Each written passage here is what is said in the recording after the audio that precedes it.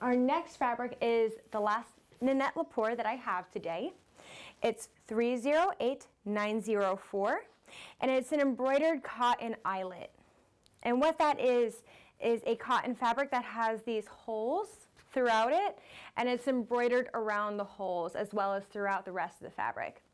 And as you can see, the edges, they're not scalloped, but they are finished.